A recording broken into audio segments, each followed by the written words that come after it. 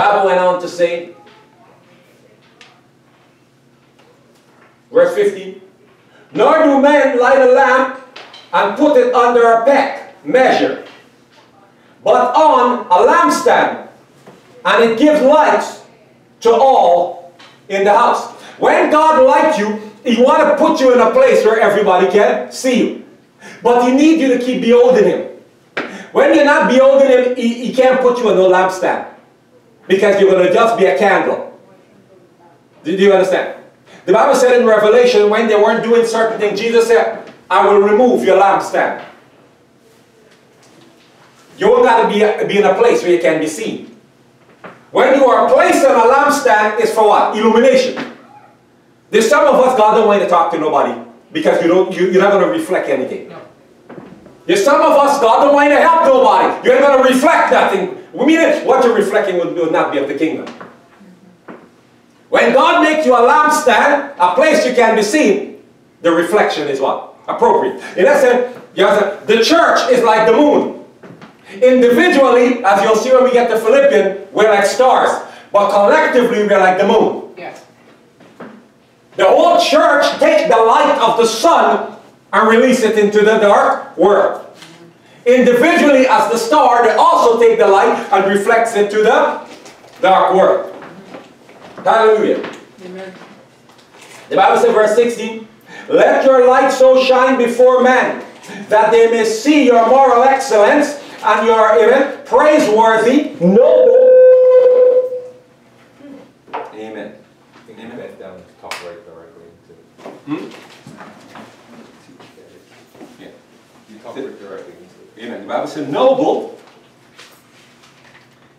and good deeds and recognize and honor and praise and glorify. Amen. Thanks, my brother. Amen.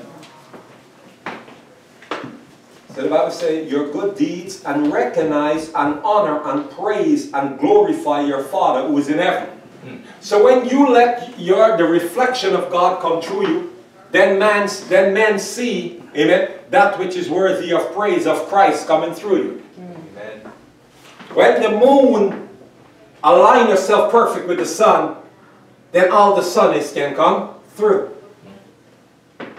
But for that to happen, we got to surrender our all to Him. Yes, We got to give Him everything. yes, we ought to be preoccupied. You understand? Making up what is lacking. Get off yourself. Please get off the flesh and the sin and the world and be preoccupied with your inadequateness and you're not being a light in the world. That is a problem. Until if the Lord appeared to them, many of you will weep. Because you are not making up what is lacking. You don't serve the devil. But you definitely don't serve the Lord. So indirectly you serve the devil. Because if you're not preoccupied, becoming familiar with the light and reflecting the light, what are you preoccupied with? Self. Self-benefit, not God, the devil. This is what the Bible said. Pick up your cross. The cross eliminates self, sin, flesh, and the world. Meaning the distraction, the distortion, amen, and the deception. Self will allow you. Self likes to be deceived. Self will drink, smoke, whatsoever, to disillude itself so it loses conscious perception. Sin and self is inseparable. The world is a way to distract you. The flesh is a way to preoccupy you. You have to be a light in this world. You have to shine. So Jesus is glorified. When people are not knowing Jesus, it's because you're a poor reflector. Let's, let's switch it on and some, some. Yeah, no, no. Uh, yeah, you understand? It's because you're a poor reflector. And why are you a poor reflector? You are preoccupied with something else. There's something else of your attention. No one can say you're not in the kingdom of light. But what they could say, is, on how you live your life, you do not make up what is lacking. And you're probably not good. You're probably, most likely, you're not going to be able to help the body, and you're not going to be able to be a light in the world. The church is a lighthouse in this dark world. Hallelujah. Amen. We almost there. Let's do two more scripture and then we're going to wrap up for today. In Jesus' name. Let's do Philippians 2.15.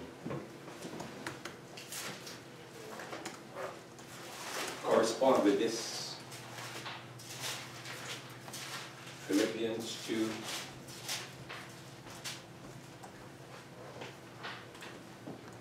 Say amen when you're there. Two fifty.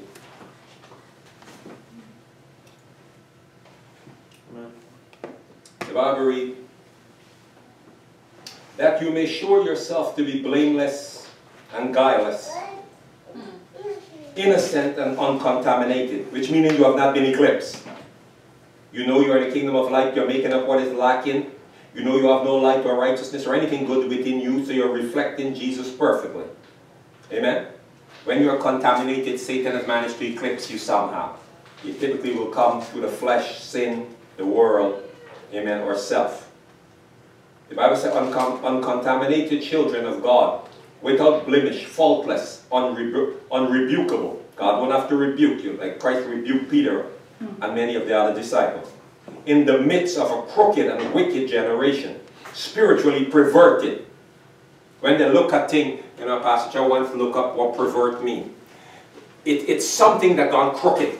Imagine this, this, this, this, this, something, this highway was supposed to go this way. But somehow it kind of, it become pervert, warped. Yeah, perfect. Like, a, you ever see storyboards and then they warp? Perfect. You can't step on it properly? Yes. Yeah.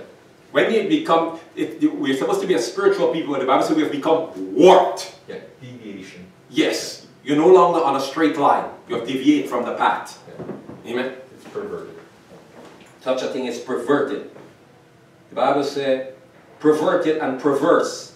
Among whom, so that's the generation you're living in, among whom you are seen as a bright light, stars of or beacons shining out clear in the dark world. So the world is a dark place that cannot see the light, but the church is an entity that could see the light that's supposed to shine out clear, not perverted. Perverted meaning somehow Satan eclipsed you. So it's not that you, you uh, uh, eclipses you're still getting some light, but the light is coming out from the side. So the person might hear 10 of your words, and one word brings some light, some wisdom. The person might watch 10 of your action, but one action glorify God or benefit the person. Your thoughts might be many thoughts, but only two thoughts bring glory. You have become perverted, warped. You're not directly facing the light. You're in the right kingdom, but you're failing for whatsoever reason. What is fellowship? Fellowship is that I face the light, I'm sharing what I'm seeing in the light with you. Amen? And we are helping each other not to get what? Perverted. So when Jackie see I'm slipping, she'll listen to my words or my thoughts and she'll go, brother, you're speaking of the light, but you look like you're not seeing it properly. She realized I'm becoming a little perverted. So she goes, let, let, let's go worship or let's pray again and let's read the word again. She helped to keep me what? In alignment. To make sure my reflection is what? Clear and pure. One of the easiest ways to get perverted is like to be by yourself. You can't tell. Hmm. You can't tell. You have nothing to compare it what? To. Do you understand? This is why when the Lord sent them out, how did he send them out? Always what? Two. Two. Yes. You can mirror. Mm-hmm. Without a reflection in the mirror, you can't tell. Mm-hmm.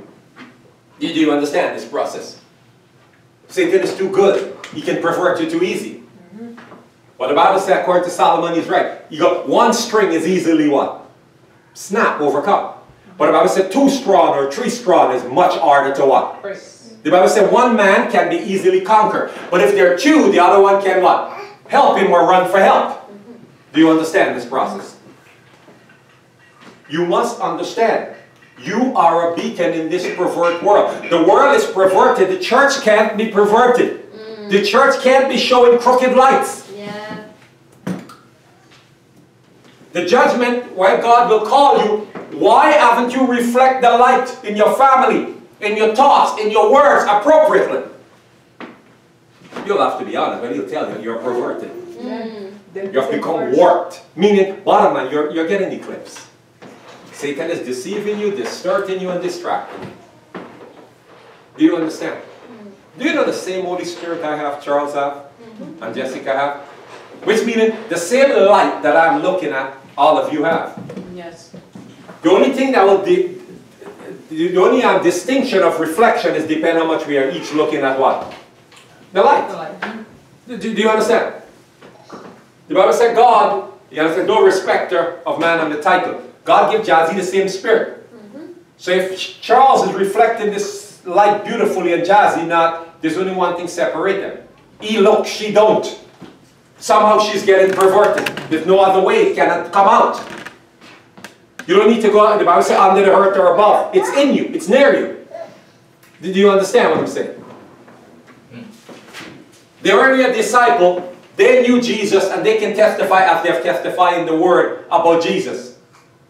And we will never know Jesus that way. Here's something very frightening. Do you know we know Jesus in a better way? Yes. They know him without glory. We know him what? In glory. Wow. They know him without the resurrection power. We know him what? Oh, Shalom Asakia. Amen. Holy Jesus. They know him bound by time and space. We, Mhm. we know him any. Unlimited! And be co-share. Do, do you, do you understand this process? His process? power. his- Now here's a sad and frightening. The limited Jesus that they know they did better than us. Oh. We have the unlimited Jesus. I am sorry, most of us are sorry for. We're lacking. We are lacking tremendously certain components of Him. And it doesn't even bother us. It doesn't bother you. Your brother and sisters are failing to walk certain way, and the church is suffering loss, and the light is coming out perverse, perverted, crooked, warped. No. Why? You are preoccupied. Church, it's, it is not to be so. It is a time for repentance. We have to repent for the sad state of affair. How we are in the kingdom of light, out of the dominion of darkness, and not reflecting appropriately. I am telling you, if you pray to the Lord and say, Father, I'm sorry for the way I've been living, make up what is lacking in me that I can benefit your body. I know I'm a light in this dark and perverse and crooked world. Hmm. Let me release in all reflection, whether in thoughts, words, and deeds, Jesus in his purest state. Yeah. And if you sincerely mean that, watch what happens. Yeah. The only thing you got to worry about is going to take away anything that is making you And pervert. every impurity, this is pure. The Bible says you're supposed to be uncontaminated, meaning nothing can block the light. So every contaminant then he needs to what? Remove. Mm-hmm. For some of you, it's alcohol make you lose the light. You get drunk. Yeah. Some of you is drunk, some of you is smoking, some of you is eating, some of you is movies, distract. There's something taking your attention. Yeah. Are you listening to me? Amen. Something distract you. Some of you is the social engagement. Or you are the social ball. Some yes.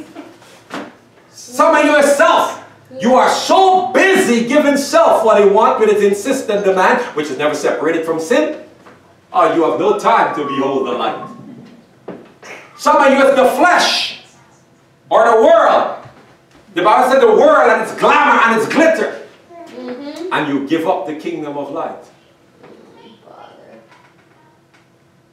Here's a secret. This church will not increase until you reflect like better, collectively. Mm-hmm. I'm included. Do you understand this process? Yes.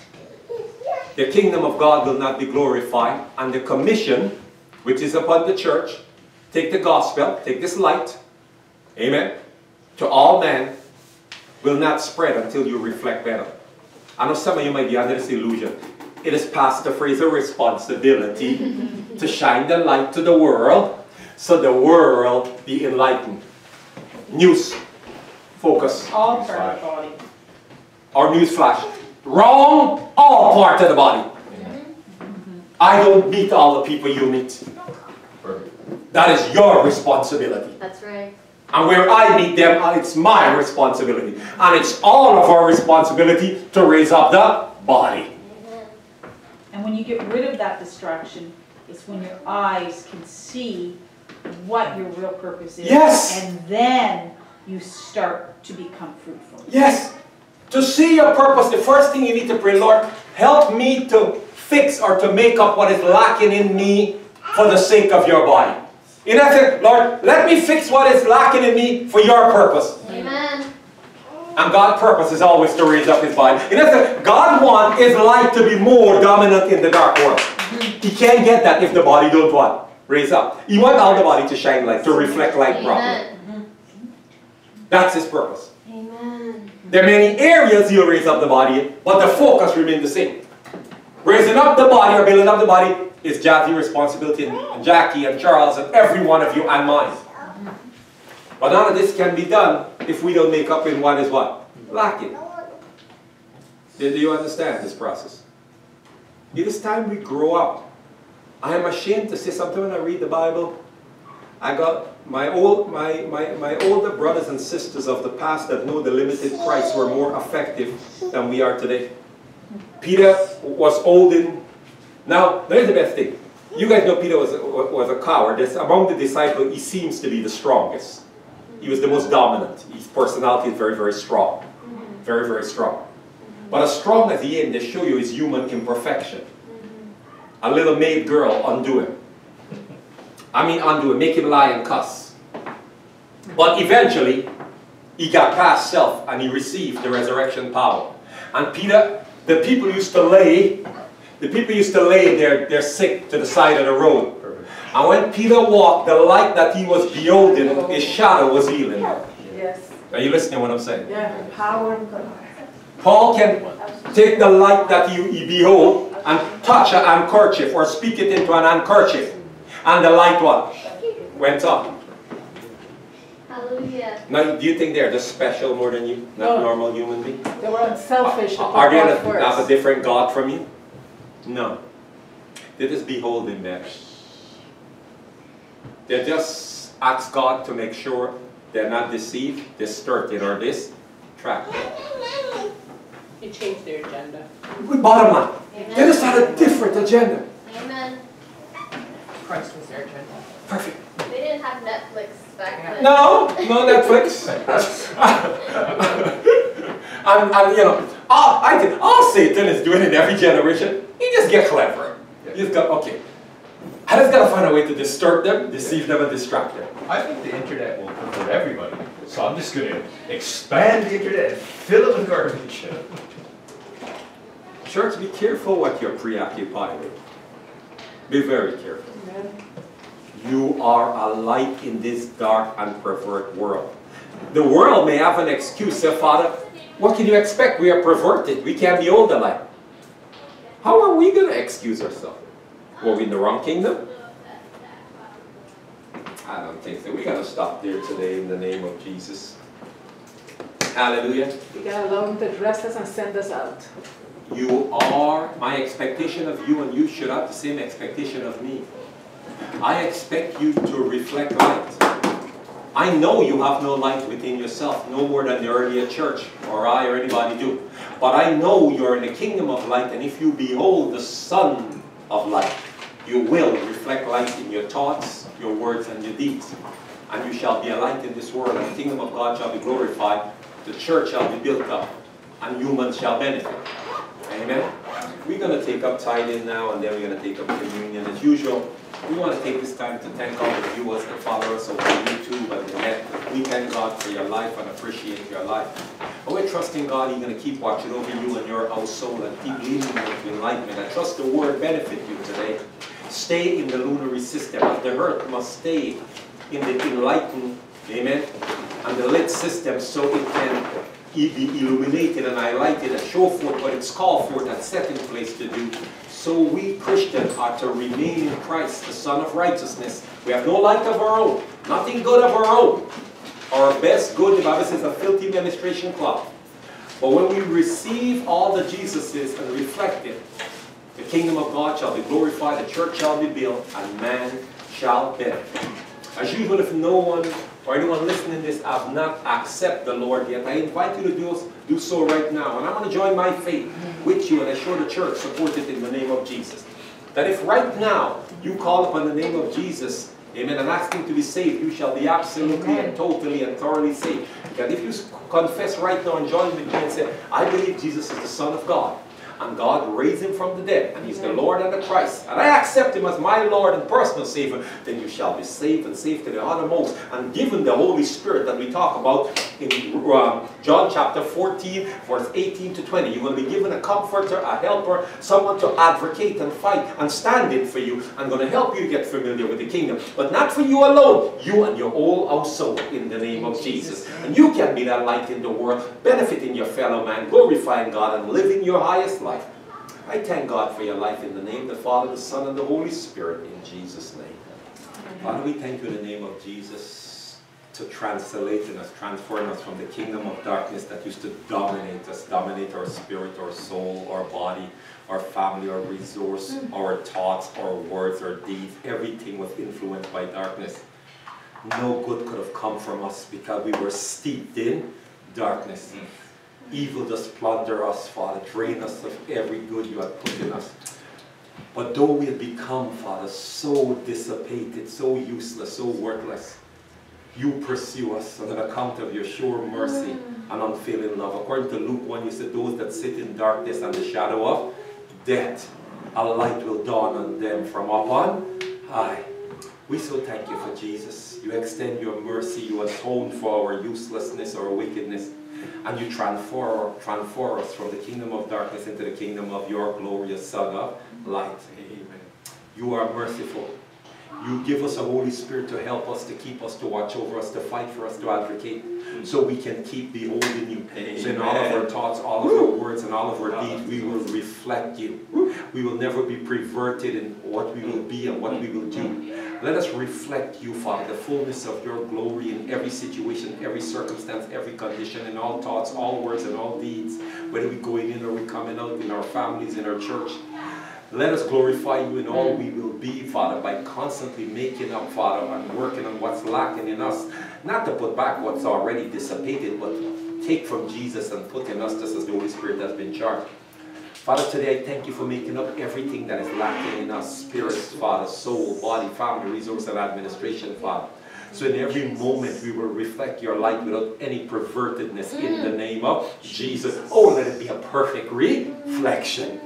As the moon, when it's in full moon state, perfectly reflecting the light of the sun. Let us in every situation, circumstance, and condition reflect you perfectly.